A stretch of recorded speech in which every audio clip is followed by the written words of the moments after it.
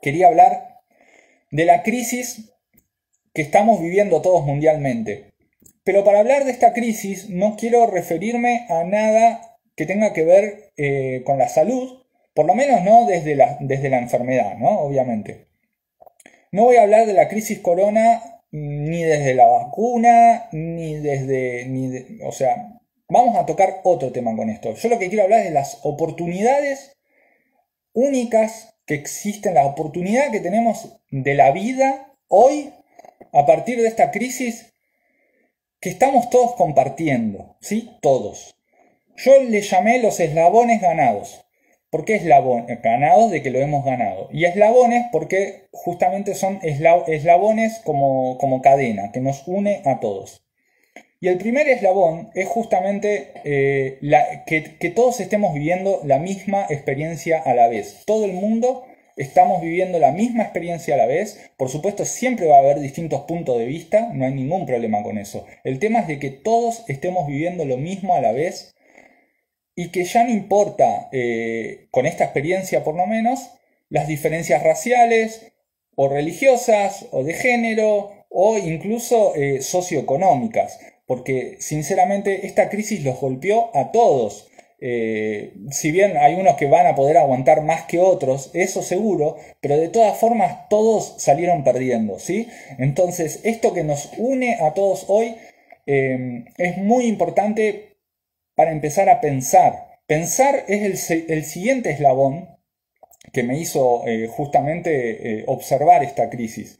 Eh, creo que la pausa es, es, uno de los eslabones más importantes que nos tocó este tiempo de crisis. Poder parar fue súper importante. Como, como, como, este ejemplo del video, ¿no? Como que de pronto parás de cortar el pasto y empiezan a salir espontáneamente las especies silvestres, de la misma forma hemos parado al mundo, ha parado la industria, ¿sí? ha parado el movimiento y empezamos a ver que hay cambios medioambientales. No podemos ignorar eso, es impresionante.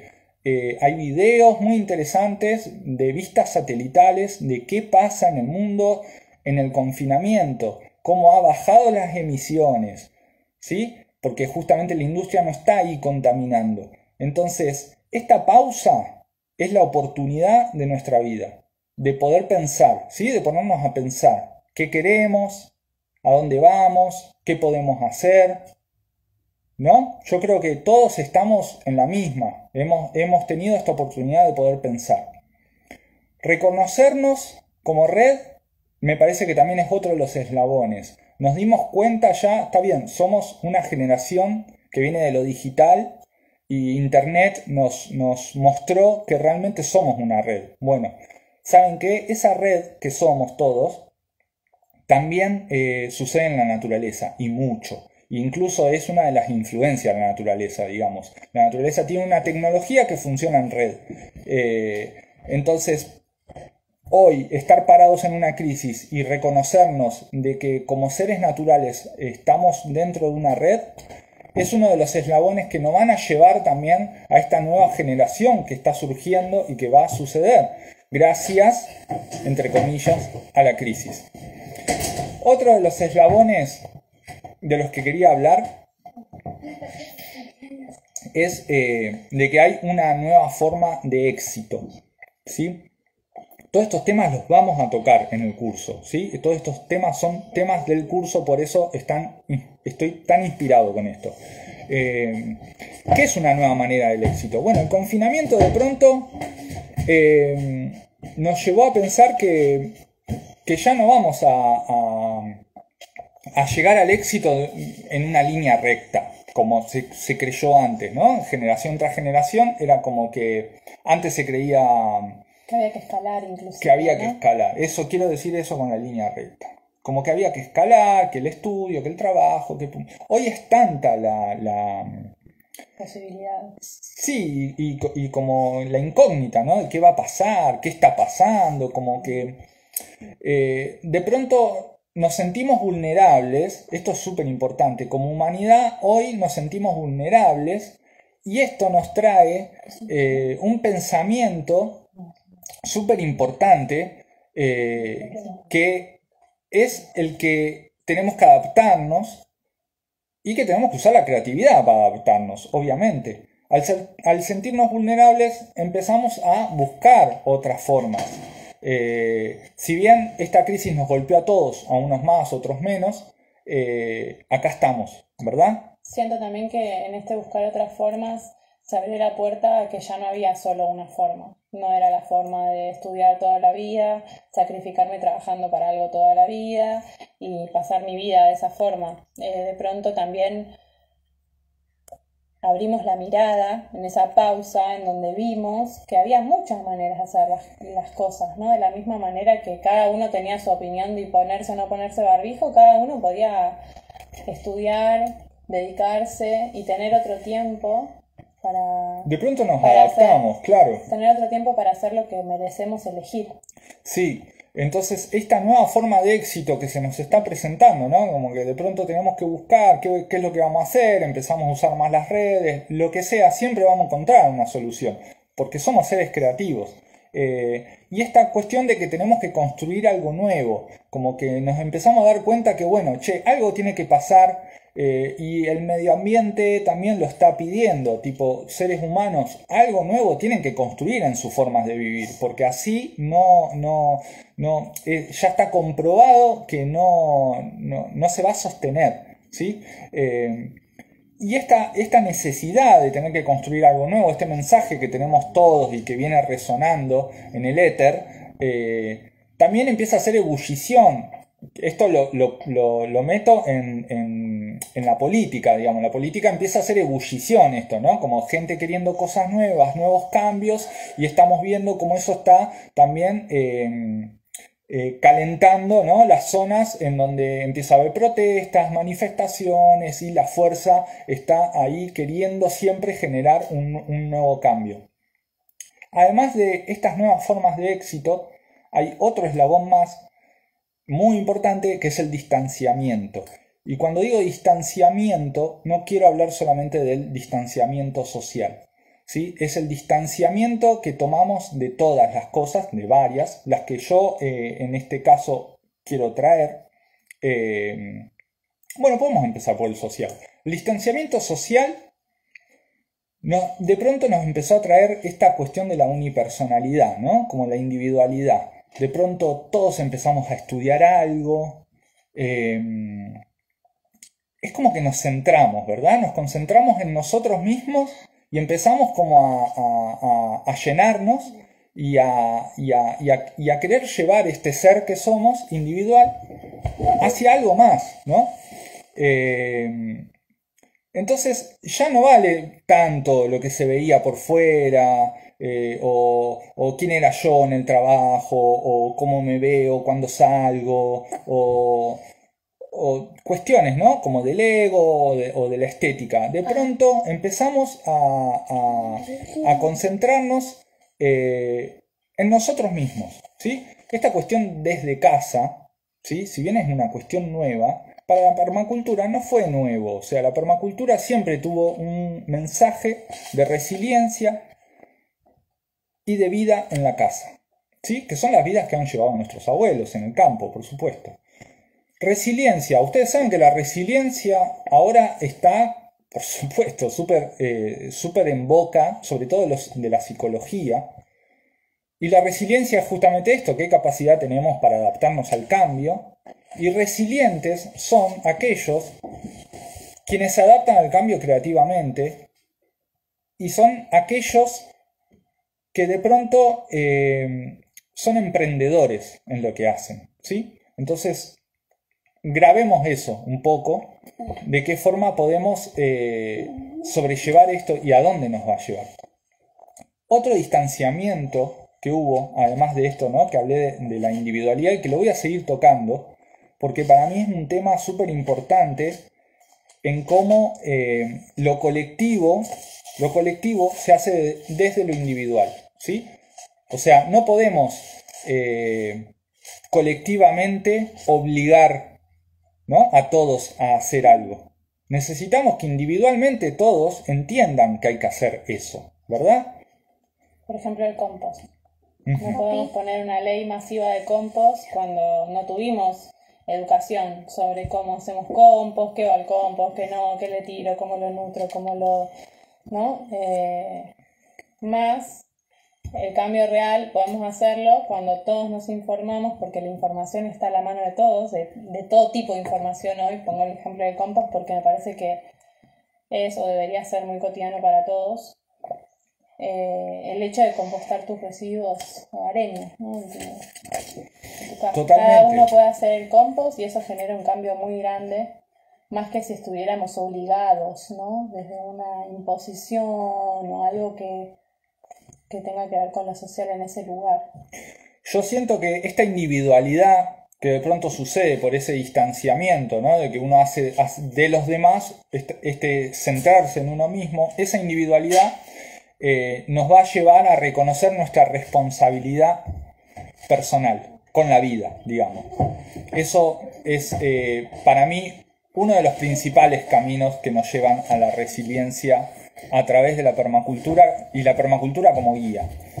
Otro distanciamiento que hubo muy importante y que nosotros le vamos a contar nuestra experiencia desde acá, desde la Patagonia, desde Chubut, es el distanciamiento que hubo hacia la globalización. O sea, si bien obvio hay una globalización digitalizada de todos conectados y todos comunicados, pero recuerden que en el confinamiento se cortó eh, el, transporte de, alimentos de lugares muy lejanos a otros, ¿verdad? Como que de pronto eh, esa globalización de productos, que es parte del sistema económico actual, em, no pudo sostenerse, bueno, hasta un momento en el que más o menos se restableció, pero todos, y sobre todo en las zonas más alejadas como estamos nosotros actualmente, todos empezamos a valorar muchísimo, muchísimo la producción local. Eso fue una explosión y todos lo sabemos porque lo hemos visto, cómo han crecido las organizaciones sociales y las cooperativas que se han dedicado a la agroecología y que han repartido elementos y vendido elementos directamente de productores a consumidores.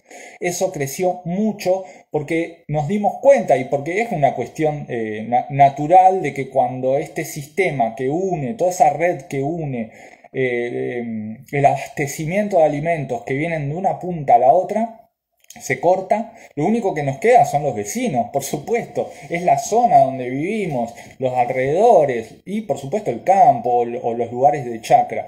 Em, Creo que también eh, como lineando todos estos eslabones, ¿no? Como que en esa, en esa pausa, en esa manera de poderme reconocer en el éxito, Dentro del distanciamiento, lo mejor que podía hacer era tener una lechuga o adentro de mi casa o en la casa del vecino. Totalmente. Eh, no era solamente que no llegaban las bananas del Ecuador a la Patagonia, sino también que, no sé, por ejemplo, nosotros estábamos confinados dentro del pueblo de Puyén. La población de Puyén hasta diciembre que se abrió el turismo no pudo salir del pueblo, o sea, dentro del pueblo para el pueblo, y obviamente todos necesitábamos abastecernos de alimentos. Y de pronto, socialmente en la comuna de Puyén, visualizamos a todas las familias que eran productoras, de qué manera producían. Podíamos hasta elegir eh, llevarnos la lechuga hidropónica o la lechuga de la tierra, como que era una fiesta porque todos teníamos el mismo objetivo, que era abastecernos de alimento en una comunidad. Y apoyarnos, apoyarnos entre nosotros eh, como un círculo cerrado, ¿no? Digamos, porque una de las enseñanzas de la permacultura es justamente eso, así como nos vamos a centrar en nosotros mismos como individuos para reconocernos, la otra capa, la otra esfera que, que, nos surge, el otro anillo que está detrás, es la relación con los demás, pero es en lo local, ¿no? Es en tu pueblo, en tu ciudad, digamos, es en un radio. Eh, pensar mucho antes de consumir un producto de dónde viene. Eso es muy importante porque toda la energía que está puesta en traer ese producto, tal vez hasta uno ni la esté pagando, porque eso es lo que sucede, ¿no? Este, este sistema que conectaba esa red, eh, de alguna forma, con algunos trucos económicos, hacía de que las cosas valgan más baratas que la de tu vecino. Pero si eso es así, no importa, yo le pago al vecino porque el vecino necesita ¿no? Necesita mi apoyo. Y eso en el confinamiento súper sucedió. Y una cosita quería decir, no solo con los alimentos, con los oficios y los saberes y los artesanos. Eso creció mucho gracias a esta crisis, porque necesitamos de ellos. De pronto, este sistema que había agarrado ¿no? a todos los oficios y todas las artesanías y las había metido dentro de una industria, ¿no? todos esos saberes los metió dentro de una industria que son las fábricas, cuando esas fábricas se fumaron, volvieron los oficios, los oficios de hacer con la mano y la persona y el vecino, eh, la vecina hilandera que nos hace la media y el, que, el rocío que hace la vestimenta y el poncho y empezó a, empezamos a abastecernos de lo que hay en el lugar localmente y ese es el mensaje y me encanta que lo hayamos vivido eh, de esta forma, ¿no? Tan masivamente. Eh, a través de una crisis, ¿no? Y ahí viene este mensaje de cómo el problema es la solución. Esa es una frase que a veces hasta confunde, pero realmente cuando hay un problema hay una oportunidad de solución, de tener que solucionar algo, ¿no? Y como seres creativos que somos y como nos gusta, y somos seres creativos de diseño, el problema para nosotros eh, es un nuevo desafío que hay que solucionar. Eh, querías decir algo en un momento. Ya se pasó. Eh, esta oportunidad de pensarnos local. Bien. Me acordé de las peras que van a Tailandia mm. y que de Tailandia se van a Estados Unidos y que Estados Unidos viene a Argentina y que eh, de repente cuántas peras nos comimos que tenían sabor a pera en toda nuestra vida, ¿no? Y de alguna manera también cuando vamos a, buscar peras, huevos, ropa, lo que fuera a la casa del vecino, no solamente el vecino nos da pera, sino que además nos puede contar la historia del árbol, la historia de su vida, con qué agua la riega, si lo tiene que abonar, nos podemos asegurar una alimentación saludable, de dónde viene, o sea, cuál es el origen de las cosas, porque estamos desnaturalizados, ¿no? Inclusive abrimos la canilla y no sabemos tanto de dónde viene ese agua, mm. o apretamos el botón, o las personas que tienen baño con agua apretan el botón y eso también se va. Eh, y podernos, no dónde, podernos asegurar del origen y podernos hacernos cargo de reciclar lo que pareciera ser el final de todo.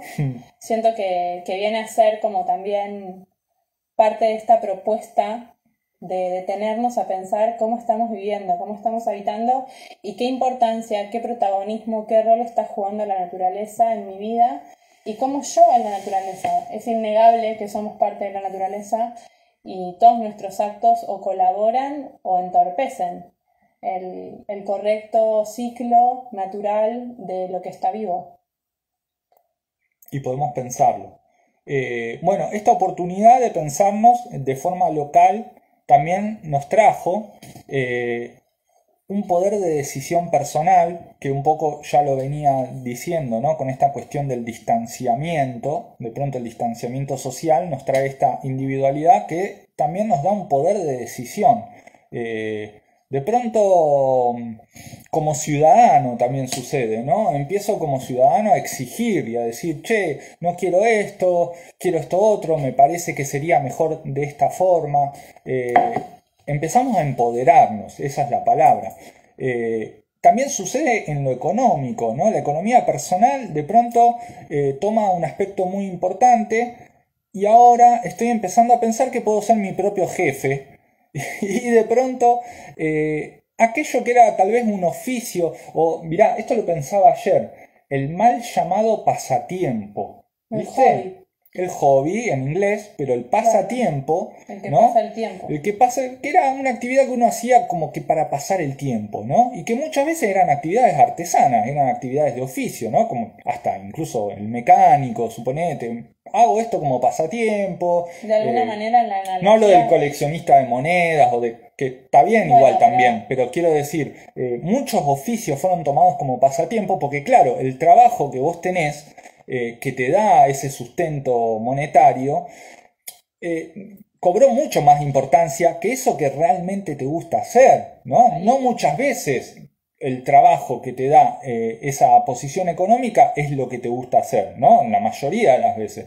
Entonces, de pronto, lo que más te gusta hacer terminaba siendo un pasatiempo. Y ahora, hoy, gracias a esta crisis, ese pasatiempo lo empezaste a pensar como una oportunidad de realmente hacer eso, porque hoy tenés la posibilidad, porque tenés el tiempo. ¿Y sabes por qué? Porque estás en tu casa. Y porque estás en tu casa y pudiste pensar en vos mismo y en los tuyos, los que están alrededor, más allá incluso de lo social. Creo que también el, tema del pasatiempo en la analogía de las palabras, ¿no? Em, cuando uno ama lo que hace, el tiempo se pasa. Mm. Y, cuando yo estoy en el taller eh, trabajando, no hay días y ni cantidad de horas disponibles porque amo verdaderamente lo que hago y todo lo contrario si trabajara de algo que no disfrute, ¿no?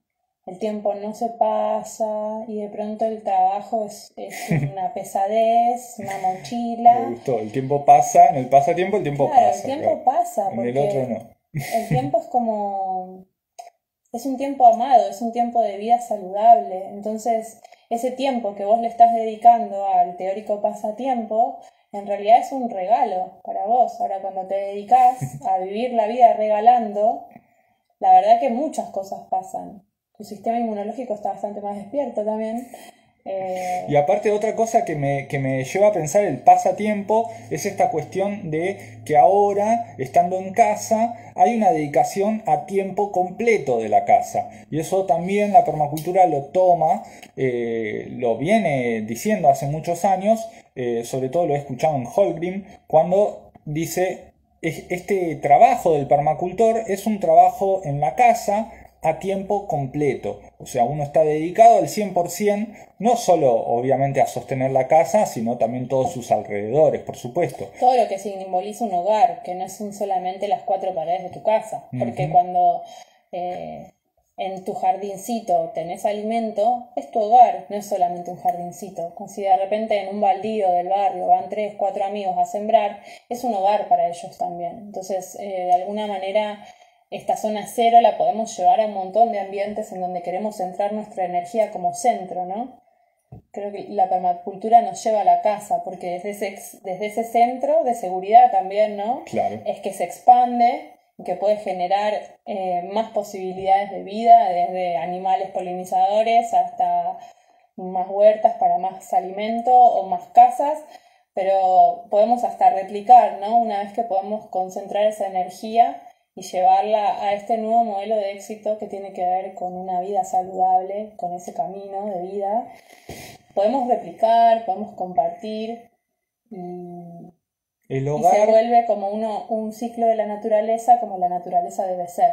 ¿no? Las cosas empiezan, crecen, florecen, semillan, vuelven a, la tierra, semilla, vuelve a crecer. Bueno, todo esto lo vamos a estar hablando en el curso que va a ser el curso desde tu casa, ¿no? La forma que tenemos de interactuar con la naturaleza, de observar la naturaleza, un introductorio a la permacultura que venimos diseñando hace tiempo ya, que comienza el miércoles a las 11 a.m. y ya estamos abriendo un nuevo horario por la tarde, eh, así que bueno, toda esa información está colgada en la red. El hogar, como estabas diciendo bien vos, Rocío, recién, el hogar es otro de los eslabones, ¿no? Este quédate en casa, entre comillas, ¿no? Que nos han querido meter. Es realmente una oportunidad única que tenemos de justamente habitar ese lugar y empezar a preguntarnos qué queremos de ese lugar, cómo lo usamos, cuál sería la mejor forma o cómo puede mejorar aún más ese lugar. De todo esto va a tratar el curso que les estamos eh, ofreciendo. Y el último eslabón que quería presentarles sobre las oportunidades que nos está dando la crisis global es la energía y nuestras dependencias. Que si bien lo hablamos un poco en, esta línea eh, sobre el éxito, Em, empezar a pensar en las energías y qué tanto dependemos ¿no? de, de toda eh, esa cadena energética, eh, empezó a ser un tema común para todos, eh, de pronto darnos cuenta que estábamos muy confiados em, y que, bueno, las cosas pueden realmente desconectarse en un momento. Y todo lo que está trayendo el, cambio climático a llevarnos a pensar en nuevas formas energéticas, ¿no? sobre todo las alternativas, eh, en donde hay mucha gente que está apostando eh, al cambio energético y estamos viendo como cierta aceleración pareciera ser hacia, eh, por ejemplo, no sé, los autos híbridos o, los autos a batería. Eh, que ese es un tema que, bueno, hay que ver, ¿no? Hasta qué punto eso significa una mejora medio socioambiental o no. Eh, es discutible aún, pero sí estamos viendo que de alguna forma está siendo más aceptado eh, y bueno, de alguna forma vamos a ser testigos ¿no? de estos cambios. Bueno, muchachines, amigues, amigas, amigos. Terminé la canasta. Rocío terminó su canasta. Me hice una aguja de madera de paso. Eh, nada, hemos tenido un día bastante frío eh, por la mañana, pero después salió el sol, está precioso ahora para salir a disfrutar. Eh, yo, yo les agradezco mucho a todos por estar, vamos a estar todos los sábados a las 4 de la tarde sosteniendo estas charlas. La semana que viene vamos a estar hablando un poco de nuestra experiencia con los voluntariados. Vamos a invitar a algunas personitas que van a estar acá contándonos porque el voluntariado este año tuvo una importancia bastante experimental con lo que tiene que ver de qué forma la experiencia de habitar un lugar como una casa eh, nos llevaba a hacer ciertas preguntas y de qué forma todos fuimos aprendiendo uno de otros a eh, vivir en naturaleza eh, y habitarla, ¿no? Habitando. Así que vamos a tener un poco de esas experiencias para comentarles, ya con el curso habiendo empezado, porque es este miércoles, y además sigue nuestra propuesta, eh, gracias por esos aplausos y saludos, sigue esta propuesta de salir a registrar la naturaleza que te rodea, ¿sí? estés donde estés, alrededor de tu casa, lo que vos puedas observar, donde veas esa expresión de la naturaleza, le podés sacar una foto con el celu,